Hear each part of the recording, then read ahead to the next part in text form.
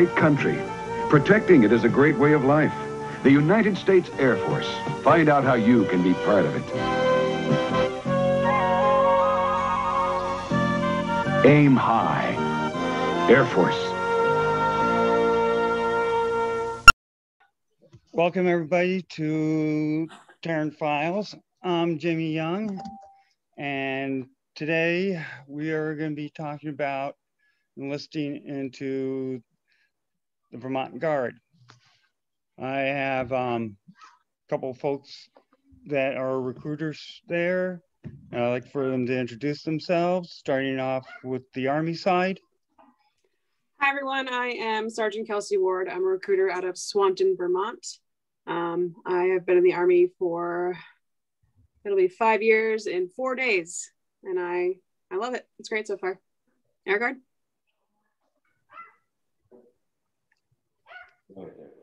What's going on, y'all? Uh, Staff Sergeant Freeman Degboe. I'm one of the recruiters out here in the Vermont Air National Guard.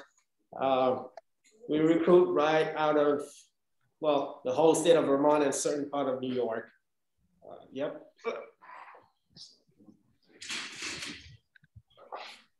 Good afternoon, everybody. Master Sergeant Juan Coleman. I'm the flight chief for the Vermont Air National Guard recruiting and retention team. I've been in the Air Guard now for about 11 years. Actually, April 27th was 11 years. So time flies, pun intended. Um, definitely uh, excited about where I'm currently at and helping as far as recruiting and retention goes. So thank you for having me today, Jamie. Greatly appreciate it. Not a problem.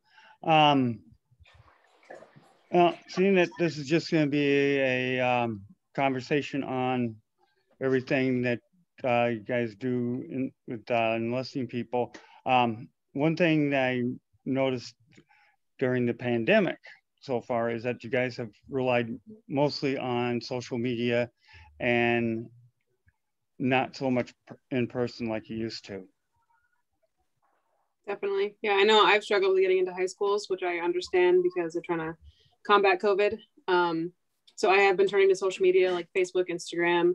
That's pretty much the only platforms I use because um, I have noticed that our target demographic does use those platforms to communicate even more than phone calls and texting. So that's been my go-to recently. What about you guys with the air guard side? Well, it's pretty much the same thing. Uh, Facebook, Instagram, LinkedIn. Uh, you know, and, and it's, it's more so about educating as opposed to uh, you know recruiting is always more about educating and getting people to know who we are and what we stand for and do so. Social media has been a big thing.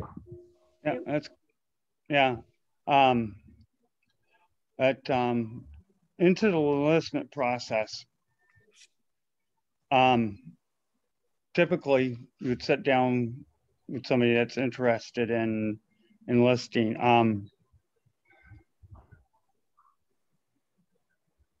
what is the typical um, enlistee asking, say? Because I, I had my questions um, when I was enlisting, and uh, some of them was um, what the, how much do you have to score on the ASVAB, the Armed Forces Vocational Battery test. Mm-hmm. So yeah, for our side, it's a it's a 31 um, to pass the ASVAB itself, but then there's I think 10 different line scores that you have to get to qualify for a job. So mm-hmm. yeah, that's how that works for our side. Yeah. Mm-hmm. And you guys, it's actually what's that? It's actually the same. It's actually the same for the air side too. You need a minimum of 31 to be able to do anything at all in the air guard. Mm-hmm. Um, you know, um, when I enlisted, I uh, went in at the age of 34. Uh, currently, what is the age? For uh, Army off? side, yeah, definitely. For Army side, um, your 35th birthday is the cutoff for age, but we have been having really good success with age waivers up to like 40 years old. Mm-hmm. So that's been really beneficial for our recruiting efforts. Yeah. Yeah. Um, is it the same with you guys? No, actually, for the air side, uh, you need to be enlisted by your 40th birthday. So you need to be in the military before you turn 40. And we do not do age waivers when it comes to that. So 40 is the age cut cutoff for um, the air guard side. Right. Yes. Okay. Just information for people. If No, it's good. yeah. question. Um, but um, and this is something that I remember um, talking to the recruiters way back when, and also to my naval science instructor and all that. The ASVAB is not the same test every time. And that's There's a few different versions, I believe. Correct me if I'm wrong, guys. Um, there's what two or three different versions. Many different versions. there's a few different versions, and and because of that, um, they do that because kids can take it a couple times and kind of remember questions and know the answers they did last time. They probably got wrong. Mhm. Um, so the next time they go, they'll probably get a different version of it. Um, but it all scores out the same, and it, it's all the same, and it tests your knowledge. Yeah, yeah, Yeah. and and, and it is a very if you want to try something that um, is challenging, the ASVAB, even if you're not enlisting, is Right. it does test your knowledge.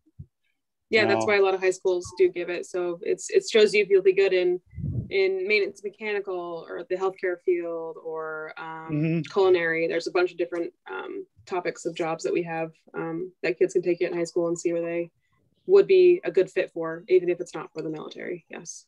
Yeah, yeah. Um, but um,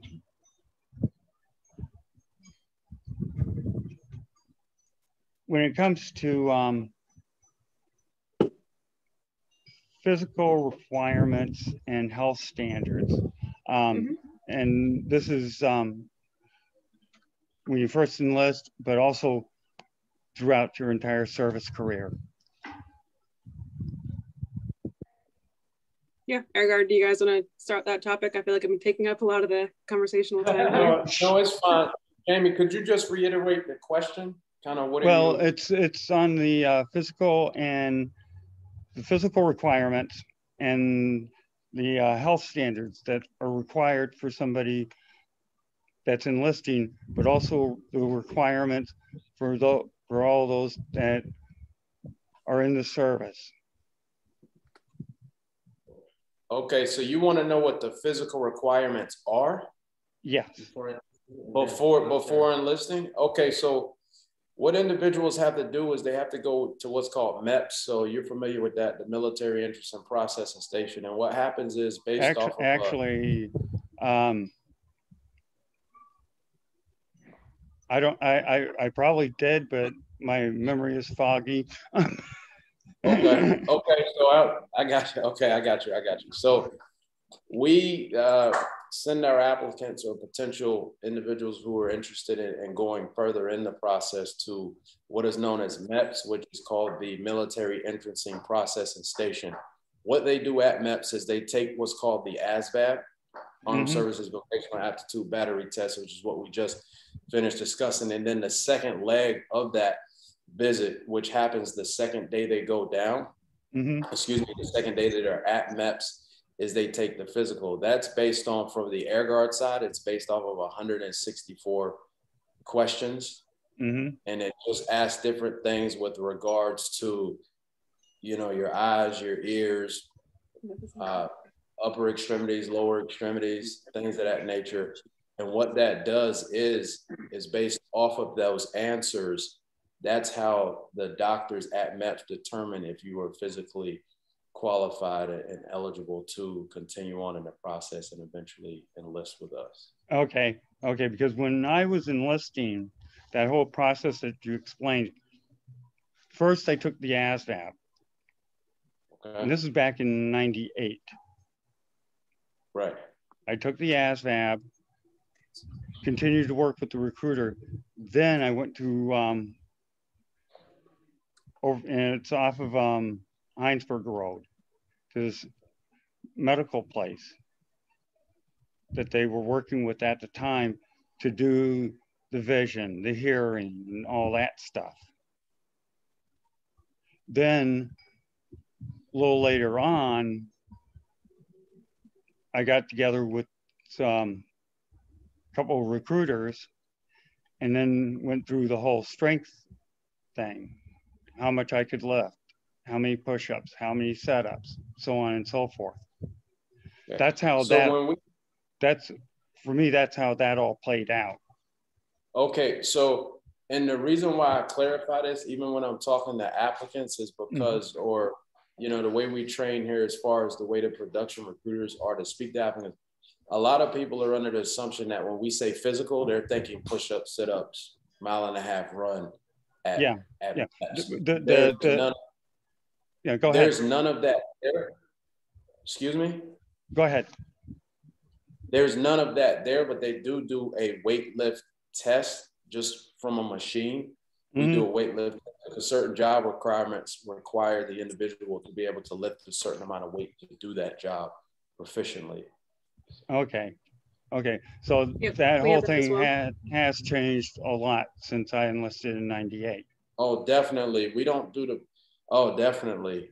Actually, what you're saying, Jamie, as far as having things get checked out before the person goes to MEPS and all of that stuff, it's kind of like it sounds like y'all actually had a pre-MEPS station here before you go and and do do the main stuff. Could be, could be. But um, the, um, and this is something that very few people, even those that have been involved in scouts, junior ROTC, and even the Civil Air Patrol are completely unaware of. And that's that what they had done in those organizations is considered to be not prior service, but pre-service. Meaning that those that have, like say I did four, I did a couple of years of junior ROTC. because I took junior ROTC, I went in at a higher pay grade. Hmm. Is that still being done within the guard and the service on the overall? Yeah, like certain credentials that you have like that can get you in as a higher pay grade, um, Mm-hmm. which in turn will give you a bump in pay at basic training and AIT. So, Ndegbo, you want to? Yeah, absolutely. So it's pretty much the same on our side. Uh, if you get certain things such as uh, Eagle Scout, uh, Mhm. you know, you're part of ROTC, Civ- uh, Civil Air Patrol for a certain amount of years. Uh, you bring us those certificates, it does bring you in as an E3. Uh, Mhm. You know, and that's equivalent of having up to 45 college credits or 32 college credits. So it's definitely something that a lot of the younger guys should look into. Yeah, and especially those that have been involved in um, these organizations that um, that they find an interest in because of the technology that they are pursuing or the career field that they'd like to get in. Yeah, But, definitely, um, especially with um, JROTC, you must be in that program because you have an interest in military, at least, you know, and and having that program under your belt when you do go to join, because assuming you want to join eventually, because you're in that program now, um, that'll bump you up even further in your career once you enlist. So that's that's a great idea for those kids who are in JROTC right now. Mhm. Um, and this is just me being curious. Is there any junior ROTC programs left in the state of Vermont? Yes, Where? there's three. Uh, Enosburg, where else do we have it? Spaulding High School, and one more, and Newport. Newport. Yep. Yep. Okay, We so Essex no longer has their Air Force junior ROTC. They do not. Nope. That's a shame. That's a shame. And those other uh, junior ROTCs are Army? All of them are Army, right? Are they combined? They're all run by the Army. No, they're all ran by the Army. Okay, That's what- okay. Um, but yeah, that's something that um, a lot of these kids that are in that program should think about if they do want to pursue certain uh, fields. Yeah, And they're getting a leg up already in that program, so why mhm, not keep moving forward? You know. yeah, yeah. Um, and you never know, some of them may end up going to the academy or go to uh, Norwich or something like that. But um, when it comes to um, the overall career fields, um,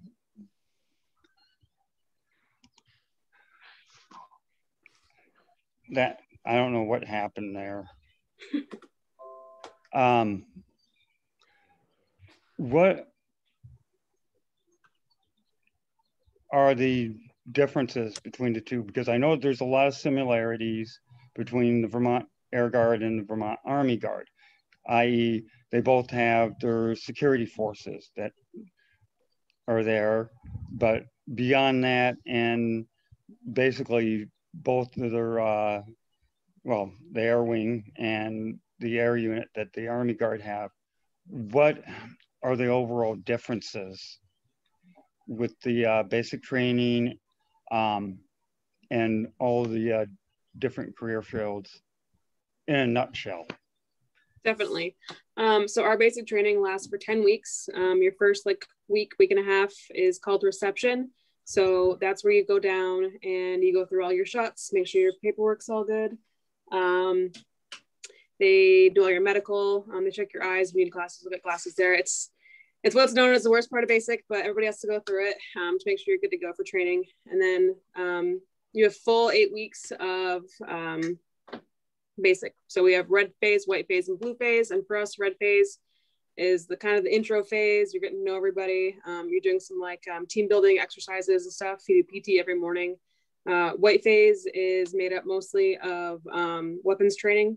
So a lot of a lot of uh, target shooting and stuff. So you get very very familiar with your with your weapon, your rifle. Mm-hmm. And then um, moving out of white phase into blue phase, you'll definitely do a lot more uh, what they call confidence courses, but I like to call them adult playgrounds. So they're very fun. Um, you're kind of mm-hmm. working together as a team to get through obstacles um, and you get ready for graduation, all that at the end of blue phase. Um, and then you move on to your job school. So we call it AIT, it's advanced individual training. So whatever you score on the ASVAB and you pick for your job, that's where the job school you'll go to is. Um, and the length of that depends on the severity of the job. So for myself, I joined up to 35 Fox, which is an intelligence analyst. And my job school alone was 16 weeks out in uh, Sierra Vista, Arizona which is a great experience for me because I never had been out west. So thanks to the Army, it was paid for. Um, and I came out of that with a top secret government clearance, which is a very expensive clearance to have. So I'm pretty thankful for that. Um, but I mean, moving into the different jobs that we have, um, I guess we could, if you guys want to talk about your basic training experience before move into that, I think if we chop it up that way, it might be easier for kids to understand. Yeah. Yeah. Okay. Uh, well, our basic training, it's a little different from uh, the Army side. Uh, mm-hmm. Typically, it's about eight and a half weeks long. So you have zero week where they get there, they have no idea what they're getting themselves into, right?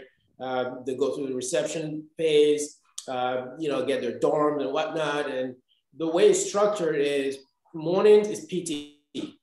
And during the day, everything is by appointment. So they might do um, marching for an hour or so, learning how to march, and then they go to a medical appointment for their initial shots. And then there's another appointment where they get their hair cut. So everything is by appointment. Then they have a lot of classroom time because on the air side is a lot of studying and studying, studying. Um, we also have Beast Week where they leave the squadron and go to a remote location on the same base where they get familiar with obstacle courses and learning how to shoot their weapons um, going through the gas chamber and whatnot. Uh, gas chamber, yep. remember that? I remember that. It's quite fun. Oh yeah. Um, about basic, you're doing three PT tests. The first two don't really count. The last one counts towards your graduation. Mm-hmm. And uh, once you graduate, you pipeline right through to what we call technical training. So the Army says AIT, we call it tech school, where you learn the very basics of your job. And the length, just like on the Army side, it varies by AFSC career field. In my case, I was a crew chief, aircraft mechanic, so I was gone a total of nine months, and that includes basic training and tech school. So that was nine months of full-time pay that my pocket was getting. So that was great. Oh yeah. Yeah. Yeah. Sounds like we have a lot of similarities with our our trainings. So that's cool. Yeah, yeah. Um, So, Jamie? Yeah. Real quick, one of the things I just wanted to highlight, if you don't mind, is with regards to the basic training and everything, what we do uh, on the air side as far as once a person enlists is they start coming here for drills, doing their Mhm. drill weekend, one weekend a month. And they're in what's called training and developmental flight. So they're in that flight with other people who are waiting to go to the basic training as well. And what that allows people to do is get acclimated to, you know, the structure and they're going over, you know, regulations and practicing marching and PTing and, and getting in shape and, and things of that nature. So that actually when they go down to basic, it's not as much of a shock. And we're seeing a good uh, ROI on that because we got a lot more kids going down now, getting, you know, honor and distinguished graduates and getting the Warrior Hawk and the PT awards and things like that. So it's just about not completely tossing them in there there and, and not knowing what's going on, but but giving them some preparation uh, prior to going. So that helps. Yeah, a that's- lot as well. Awesome. I didn't know you guys had that program. Um, Um, so we have the same thing, but it's called RSP. I'm sure you guys know about that. It's the Recruit Sustainment Program. Um, same concept. You're basically just getting getting them to learn the ropes before they go down. All of what they said, plus like the rank structure, some medical and training. You guys do that too, I assume. Um, yeah, definitely. Our, our our FSF chief is a former Blue Rope TI from, uh, you know, basic training. So he was really giving the kids as realistic as it could be. That's you know, good. he was, Yeah, yeah, he that would is show good. That is good. Yeah. Awesome. and it's it's crazy when you uh when you go down to training because i remember my rsp days my the recruit sustainment program days the pre basic training drills um you could tell who was guard and who was active duty because you're comfortable and everybody is doing the right thing and you know they're from the guard and the active duty guys are turning left when they're supposed to turn right and they're the ones getting yelled at and it's funny so but it's a super beneficial program to have that way you're comfortable and you know what you're doing when you go into it. Yeah, it's great. yeah. It's awesome. So how long has this program been in effect? in effect? Hmm, do you have questions on that? It's been a while. Uh, it's been ongoing since about 2004 in the Army Guard side. All right, so my boss is here with me too, just to help me out with questions I don't know, which was that one. And uh, apparently, our RSP program has been around since 2004. What about you guys? So I came in in 2009, 10 slash 10, and it was around then. It's been around for, for quite some time. I don't have a specific year, but I'd say long enough that we've definitely made improvements because, you know, when Mhm. something's around that long, you can kind of see what works and what doesn't. So it used to be called student flight, and the name just recently changed a couple of years ago to training and developmental flight. You Yeah, know. it's probably been around as long as the air or the Army side's been around too. I'm sure the tag has kind of implemented that program. I would assume anyway to benefit Yeah. both both guard sides for sure. Yeah, and this is for mostly for those that go in on the uh, delayed entry. So entry, that's mostly active duty. Um, it's about the same concept, except I, I mean, I- I- what I mean, what I mean is those that go in with the guard on delayed entry. You mean to the to those programs? Right. So for us, um, that program happens when there is a certain amount of time between your enlistment and when you leave for basic training.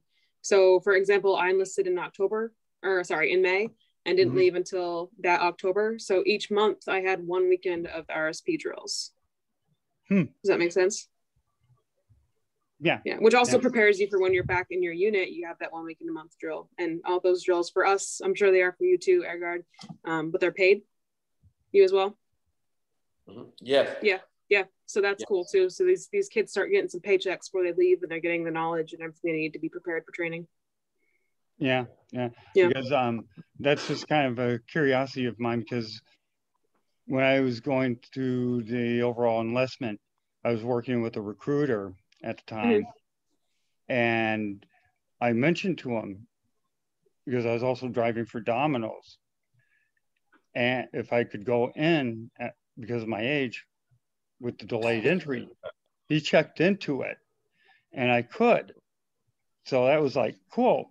So my whole idea, if I didn't get discharged, was to work it out with the guard to spend time there learning from the crew chiefs. So where when I went off to everything, I would be that just you know just that much ahead. Right, right. So I see what you mean there, Jamie. Uh, so on our side, at least, when you when you when you when you enlist, we do work with you to try to figure out when is best for you to ship out to boot camp. Mm-hmm. So that is something to look into. Uh, we don't just you know immediately send folks, right? Because uh, everybody has something different going on in their lives. So we do work with them a little as much as we can. Mm-hmm. Because it was kind of funny. I met um, a guy, former crew chief. For a while, he was with the Air Guard, but before then, he was stationed here at Plattsburgh. The day that I was discharged, I was supposed to go with him and just follow him around. He thought that I went off for basic that oh. day when we both met up again over at the plains. He recognized me. I did not recognize him. And it's like, okay. yeah. Right. Right. So, so Jamie, real quick, mm-hmm. I just wanted to say I have to step out. I have another appointment that I have not to a problem. To. But I wanted not to a... thank you, Carl Ward. Keep killing it over there. I see what y'all doing. I'm gonna let mm-hmm. my man here, Freeman Degboe, finish up, and he's gonna give me the AAR after this is over, and let us know if there's anything else we can do to help you out. Okay, not a problem. I appreciate it, man. I appreciate it. It's good to have that community support. Yep, we love All our right. over here in Plattsburgh. We we miss the airbase being active. We do. Yeah, I know. I used to I used to recruit over there a lot. So that was my area when I was a young production recruiter. Yeah. So yeah, I love going over there and stopping at Chick Fil A. It's awesome. You have to go to Chick Fil A. You have to yeah. go to Plattsburgh. You have yeah. to. The number one, I'm telling you, good. I'm partial to the coffee cat. Right, right. All right, man. Okay. Um, let's see here now. Um,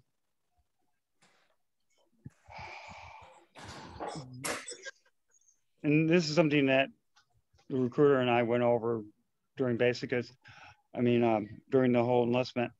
Um, how does the Air Guard do with the continuing education, college, um, and other benefits like um, health insurance and so on? You know, what type, you know, college benefits do they offer? health benefits. Nick, boy, you want to go ahead and get that one? Is it healthy? Yeah. Um, do you want to do you want to start with oh, that? Oh, yeah, sure, sure. So you know, first off, a lot of you know, one thing most people don't realize uh, is that the military now is not what it is, what it was 15 years ago. Uh, it's actually pretty challenging when it comes to education. Um, they're mm-hmm. big on that. So, you know, and we mentioned things like basic military training and then AIT or technical training, where it's literally a school program run by the Air Force, by the Air Force or the Army. Mm-hmm. Now, on our side, the Air Force has its own air university and a community college. It's called the Community College of the Air Force, and it is accredited. So, as folks go through technical training and they come back, they return with college credits that they can transfer to any universities or colleges of their choice. Mm-hmm. Um, in the last two and a half years, I believe the state of Vermont finally got a state tuition assistance program, which is through VSAC. So you have certain schools such as UVM, VTC, and VU, where the tuition is fully covered. Mm-hmm. And you can any, also any in-state yeah. in-state college right. that's considered an in-state Vermont college. Yep. So there's uh, CCV, uh, VTC. There is um, NVU, UVM, and Castleton. Right. I think at Elm. Yeah. So that's that's been super beneficial for both Army and Air side. Um, yeah. For for a benefit into joining, so that's that's helping our recruiting efforts for sure. Uh, what right. about those guard members that are on the New York side that would like, how can they do the same thing over here? If they Well, don't want to go, if they don't want to travel over to Vermont, but they want to go to either Plattsburgh State or Clinton Community. You mean New York, New York residents Yeah. That are Vermont And- Guard members. that are Vermont Guard members? Yeah. Um, I mean, they can use uh, student loan repayment for us if they qualify for it. So that's up to fifty thousand dollars of student loan repayment. That's if they already have student loans or if they plan on um, getting student loans by going to college. Um, they can use Montgomery GI Bill. So Mhm. those those are available at other colleges. But um, definitely the main thing is if they do want to use a Vermont school, being in the Vermont Guard, they can go tuition free. Right, and on, on our side, we do not have a loan repayment program. Mm. If they live on the New York side, if there is, let's say there's a certificate program that they're trying to get and it, it's not offered in Vermont, they could use the state tuition assistance. But the thing behind it, it's, it's the Vermont taxpayers' money. Right. So they want it to be used right here in Vermont. So, Yeah, you that's, know, and I advise all of them just, once you're part of the Vermont Air National Guard or Army National Guard in Vermont, you consider in state. So you, Right. you go to Vermont school and save yourself some money as opposed to taking loans. Yeah. So those that want to save a shitload of cash, if they want to go to college and finish up a degree that they've been working on or something like that, their best option is to try and get something over in Vermont Right. and commute to and from. Yeah, we're not sure what the like New York National Guard has for tuition benefits or anything right now. Um, we're focused on ours to build our community Yeah, up yeah, that, um, and to keep people here. So that's yeah, that's that's what we understandable. That's Definitely. understandable. I'm sure that New York, the New York Guard is doing the same thing. I hope so. it's a good thing to do. Yeah, well, keeps people happy. That's right. Um, when it comes to the health insurance, what's the story on that? Um, so we have TRICARE. I'm sure you guys do too, Degboe, right? Um, and there's so there's life insurance that we can get. Um, it's four hundred thousand dollars worth of life insurance that you can get with a very low payment of like I think twenty nine dollars a month. Um, Mhm. So that's awesome. And then we have like monthly healthcare plans. Um, and if you want it just for yourself, it's about forty six dollars a month Mhm. um, and for yourself and your family if you're married with kids or have kids or just married either way um, it's like about 221 roughly. Um, and dental is extremely cheap too. It's $11 a month for just you and then for you and your family it's around like 85 i think yeah, so. and, and much mo- less than what you'd pay through state. Yeah, and most part-time guard members can afford that. oh definitely. And that's you can afford that with a drill check you know? Yeah, easy. Yeah. yeah. yeah. Um, but uh, when it comes to um, say, say you guys had to go down for um, some schooling, what uh, travel benefits does the uh, guard pay? Say you Um, have to go down to Florida for some training. It- it- Anytime we go to training, it's fully reimbursed. Yeah. Are, are- so like, just clarify the question. Is he asking if like we go out of state, if we go to like, Yes, say, yes. Say down, say, say down to Florida to do some, some, to take some classes that are only offered down there. now are you saying classes like for military training? military training Yes, yes. Oh, okay. So yeah, I mean, I mean, flights are covered. Um, expenses are covered that you acquire while you're down there. So like Mhm. food's paid for, flights paid for. It's we like to call it like a free vacation.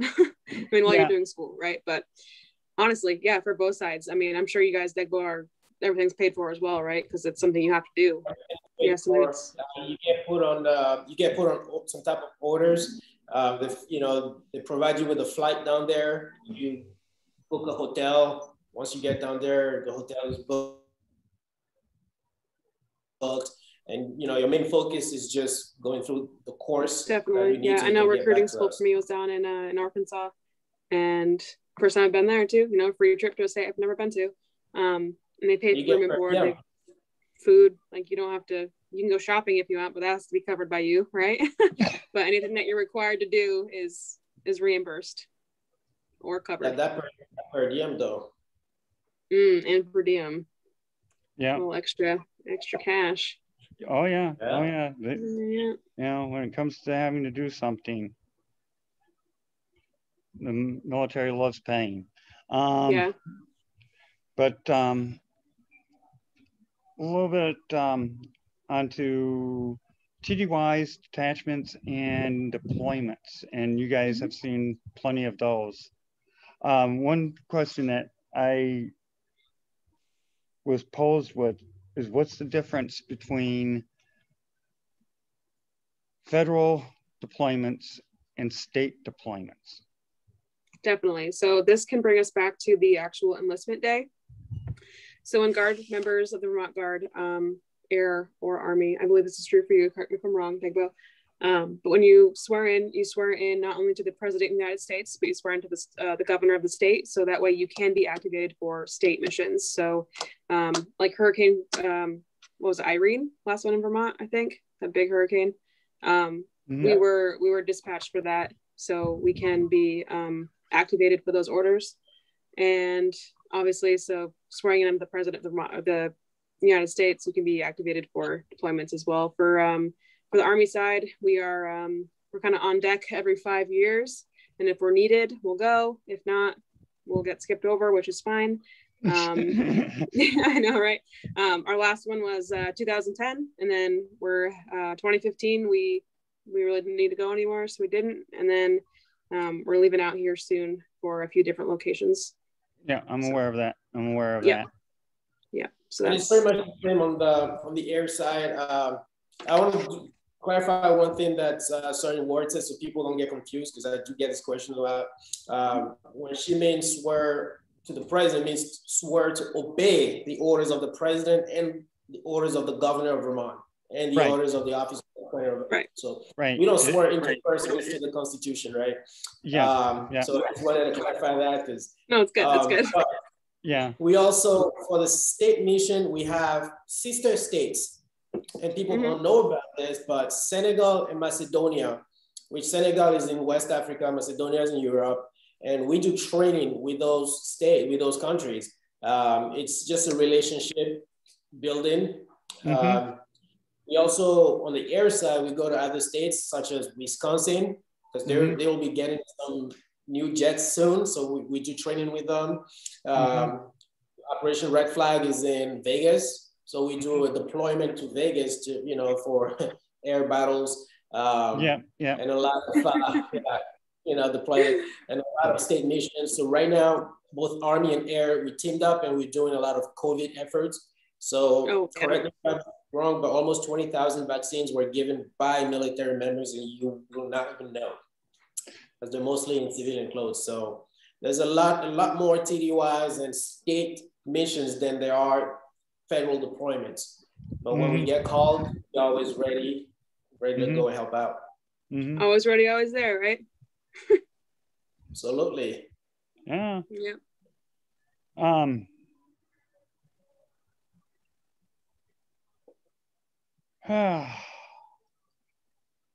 Don't mind me. I'm just thinking. It's fine. Sometimes it's hard to do for us too. Don't worry. yeah. Um. We're pretty much through stuff. Um. Okay. When it comes to ROTC, OCS, and the academies, um, there's multiple ways of going to those. What are they? Um, for I know for the Army side, OCS, so the officer officer um, candidate stuff. Um, there's a, a year and a half roughly time frame you can do it in, and there's an accelerated version as well. My uh, NCOIC is here, and he can probably speak more on that. So, uh, so the, the Army has the OCS program, the Officer Candidate School program. And uh, so that program is uh, run in a variety of different ways. Uh, we have the traditional program, which takes about a year and a half to gain your commission. Uh, during that time, uh, you do it one weekend a month, approximately a week and a half, uh, two weeks in the summer, um, and you'll achieve your commission at the end of that program. Uh, then we have what's called like the semi-accelerated program. That lasts um, not quite uh, a year. It's just under a year uh, where you do some one weekend a month drills. Uh, and at the same time, you're also doing some extended week and a half, two week long uh, trainings during that time. And you mm-hmm. achieve your commission at the end of that. We also have the full accelerated program where we send uh, the applicant down to um, Alabama and they mm-hmm. complete uh, the accelerated program. It's about an eight to 10 week program and they commission at the end of it. Um, so does that answer the question for OCS?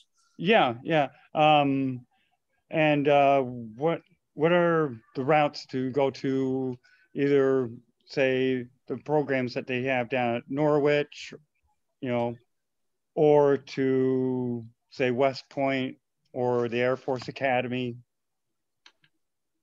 So I can speak to uh, all but the Air Force Academy from the Army side.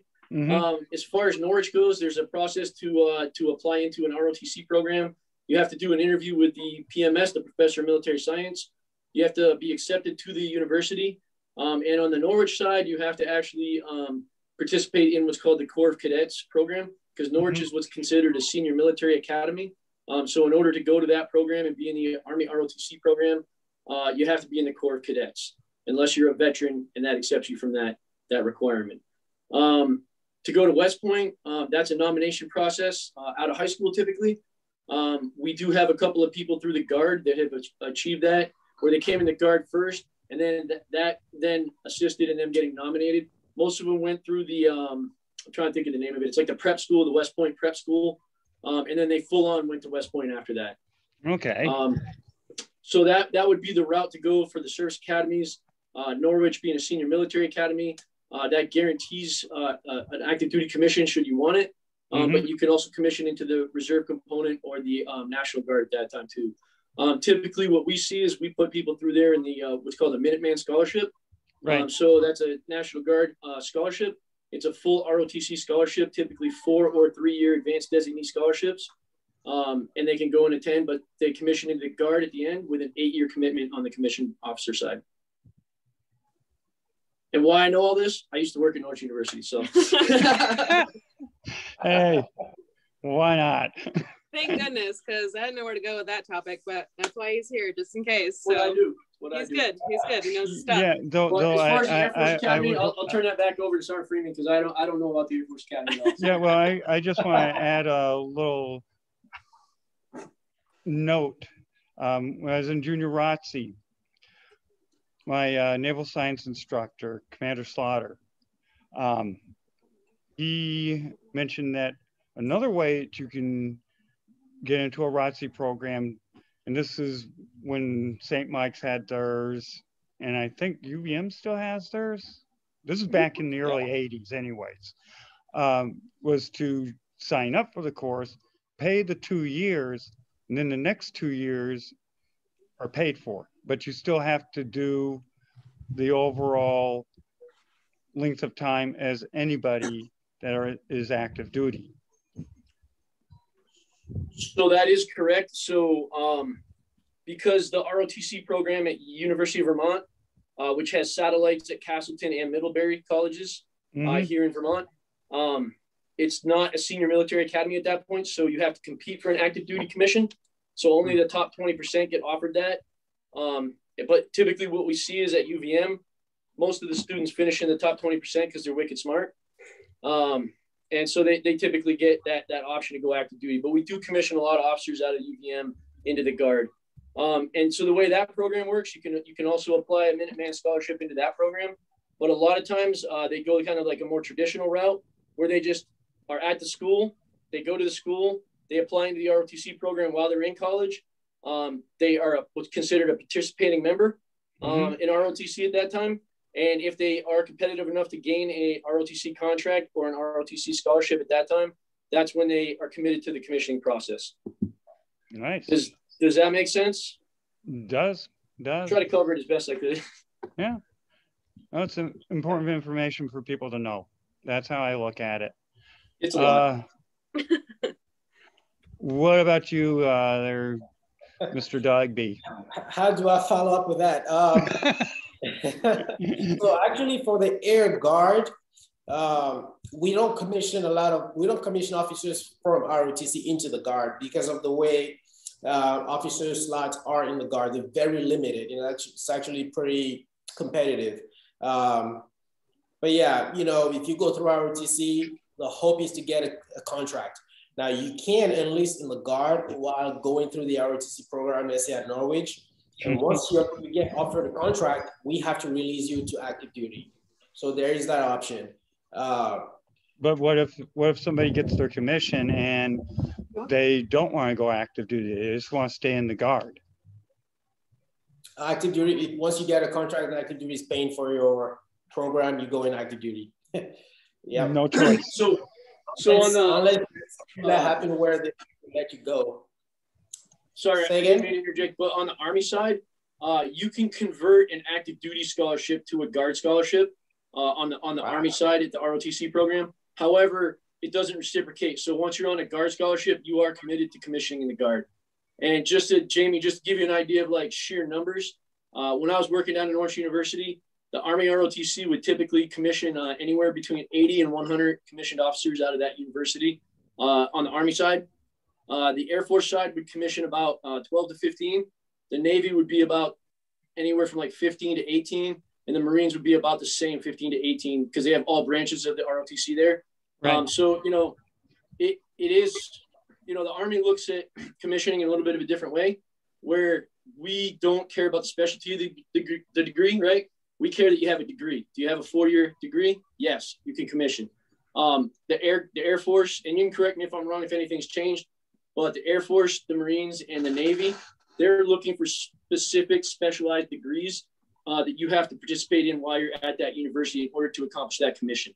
For the Army, we don't care. We just want to see that you can you can get, you know, if you can go and, and become an underwater basket weaver, we're good with that. Just get the degree, we'll commission you. You know what I mean? Yes, yes. So, yeah, well, well, with the Air Force, they would be looking for people that um, know their shit. Yeah, solid brains. I mean, and, and, and, rightfully so. I mean, you're looking for a higher level of uh, intelligence probably to, to to work on the like the F-35s or to be able to fly an F-35. Like you're not, you know, yeah. In the Army, we only have we have rotary wing aircraft and we have a couple fixed wing aircraft, and that that's pretty much it. So like our level of intelligence doesn't need to be. I'm not I'm not trying to shortcut it, shortchange us at all, but we don't need that higher level of intelligence to be able to work on those those high level pieces of equipment and understand that level of knowledge. Um, Although we do have cybersecurity now, so that's yeah. that is, we're yeah, getting yeah, up that, there. That, that, okay, that is, that is a, that's a specialty. That's a specialty without a doubt. well, all right now, all branches have that. So yeah. Um, something I do want to add is when people think about commissioning, you don't have to go through the ROTC programs or the Air Force Academy or West Point. You can enlist into the into the guard and take the exam. We have the Air Force Officer Qualifying Test, which is it's like the ASVABs on crack. It's, it's mm-hmm. pretty tough. Uh, but you take that, you make your minimums, you can put a package in. What that does is the guard already knows who you are. You've committed to the guard in one way, shape, or form. So right. in that sense, we get more of our own enlisted members because there's no limit. You can enlist a day and take that exam and put in for commission. Um, but then at least we see that, you know what, you're committed. You want to be here, not just somebody who just graduated from St. Michael's and wants to be an officer, right? So, right. It, um, right. So mm-hmm. there, there's different avenues. Basically, whatever you want to gain out of this, like there's people to help you get there and a yeah. bunch of different pathways. So, yeah. But, um,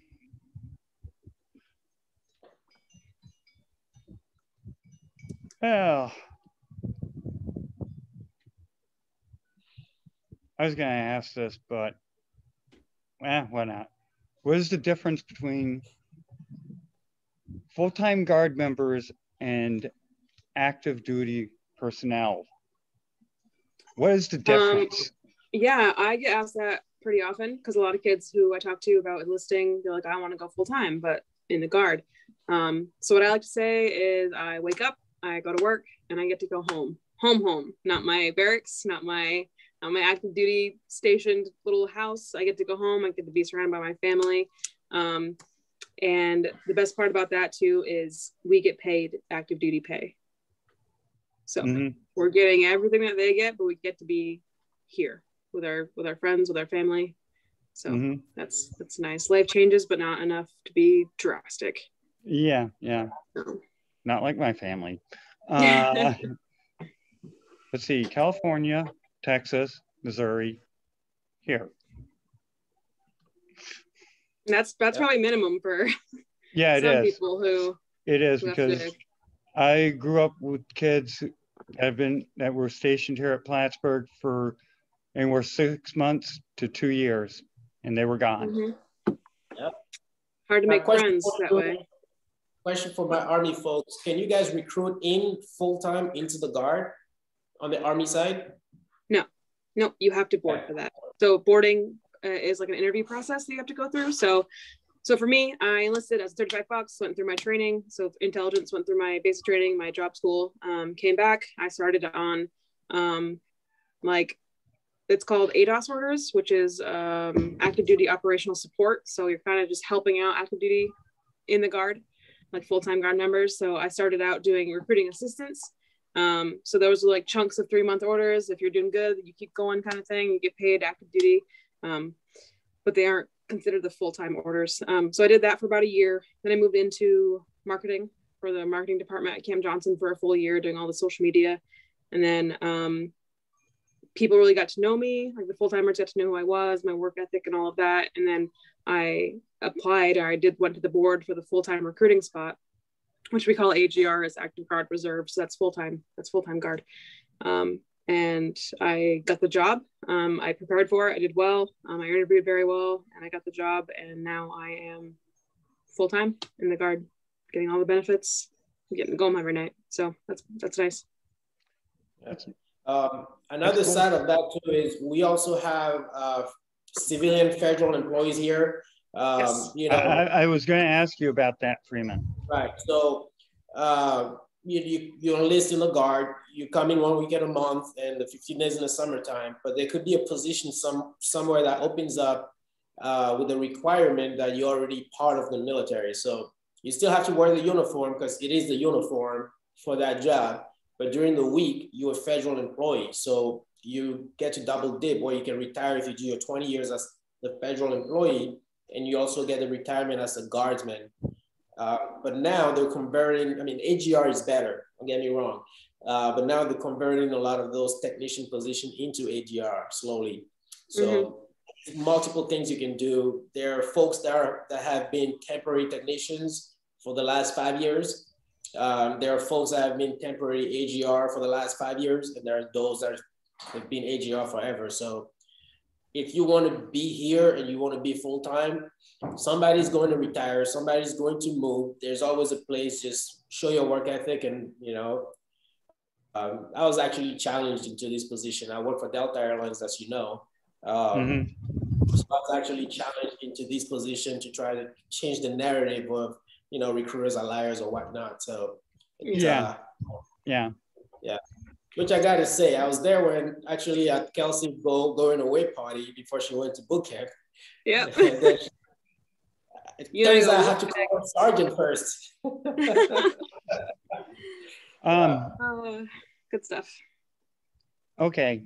And, and this is something that I don't know if you both can answer, but what if, say, somebody's interested in working, who's a civilian, who is interested in working for the guard, not wearing the uniform, but just working for the guard?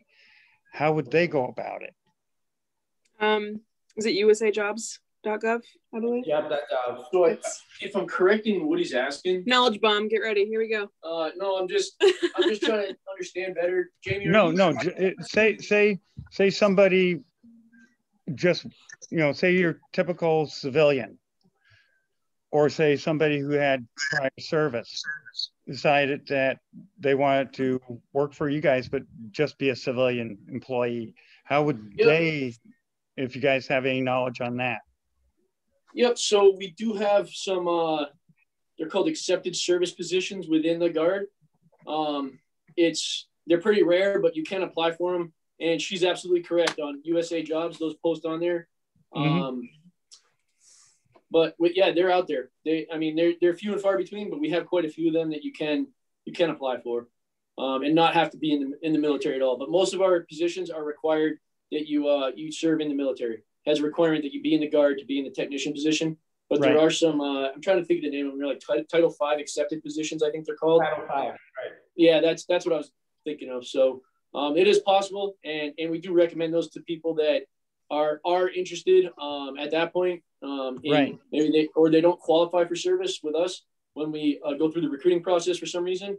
I usually keep a list of them, um, and then I reach back out to them if I see those jobs posted and, and provide that to them. Yeah, no, that's good. That's good. The thing about those Title Five positions are they get you in the federal system for the most part because most people will go through the TSA, right, to get in the federal GS scale. But this Title Five position could be, I know on our side, we have multiple admins that are civilians, never been in the military, but mm-hmm. they, they're right here with us and, you know, serving in their own way. So, right, right. But, um, mm-hmm. and this is something that I have to uh, make a comment on for you guys. Um, recently, folks posted out that uh, on the Army side that they're, you guys are now accepting that you've been authorized to accept women into combatant roles, which to me, that's been a long, long process. Yes. Because I remember meeting the first woman ever assigned to my stepdad's squadron, the 380th, uh, 380th Missile um, yeah, Munitions Maintenance Squadron. Mm-hmm. And that was awesome. And very cool, Force, right? The Air Force has been working on that since then, and that was back in 78 or 79. About time, huh? Oh yeah, about time. so that was that was a pretty exciting time for us too, like uh, yeah. being able to uh, recruit females into our combat units. Mm-hmm. Um, that's that's a really big deal. Um, all of our units went through um, female integration training. Uh, mm-hmm. We actually had the Canadian Army come down and and train with us because they've had females integrated for quite some time now. Right. Um, and uh, when I was recruiting with the, the Field Artillery Battery out of Waterbury, um, they actually paired up with us, and, and their females came and trained directly with our uh, Field Artillery females in our in our Field Artillery unit and kind of mm-hmm.